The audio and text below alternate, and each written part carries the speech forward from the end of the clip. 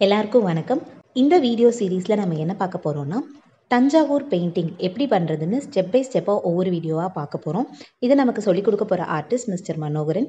அவர் நமக்கு சொல்லிக் கொடுக்க ஒவ்வொரு வீடியோலையும் ஒவ்வொரு ஸ்டெப்பாக நம்ம இந்த தஞ்சாவூர் பெயிண்டிங் எப்படி பண்ணுறதுன்னு பார்க்க போகிறோம் தஞ்சாவூர் பெயிண்டிங் பண்ணுறதுக்கு முதல்ல நமக்கு தேவை இந்த மாதிரி ஒரு ப்ளைவுட் இங்கே நம்ம எடுத்துருக்கிற ப்ளைவுட் பார்த்திங்கன்னா வாட்டர் ப்ரூஃப் இதோட சைஸு பத்துக்கு எட்டு இன்ச் அந்த சைஸில் தான் ஒரு பெயிண்டிங் நம்ம பண்ண போகிறோம் இந்த ப்ளைவுட் கண்டிப்பாக வாட்டர் ப்ரூஃபாக தான் இருக்கணும்.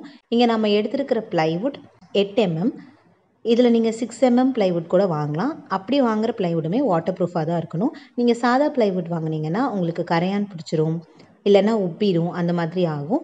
அதனால் வாட்டர் ப்ரூஃப் ப்ளைவுட் தான் நீங்கள் வாங்கணும். அடுத்து இந்த ப்ளைவுட்டில் துணி எப்படி ஓட்டுறதுங்கிறது தான் அடுத்த ஸ்டெப்பாக பார்க்க போகிறோம் அடுத்த வீடியோவில் தொடர்ந்து நம்ம சேனலை பார்த்துட்டே இருங்க. நன்றி.